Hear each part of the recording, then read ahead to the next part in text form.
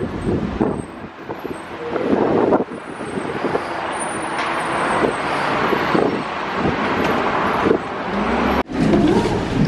only five sentences. Thank you very much for your and nice words. And uh, thank you for the invitation to this institution and for the trust you gave me. And then thank you for coming here, for your work, being a bridge to the possible audience, being a translator. Um, I especially uh, emphasis that you give your own opinion and any interpretation is right.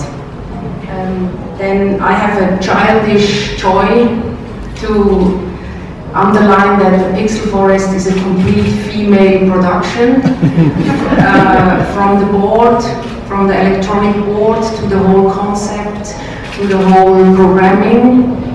And also my team is 80% female.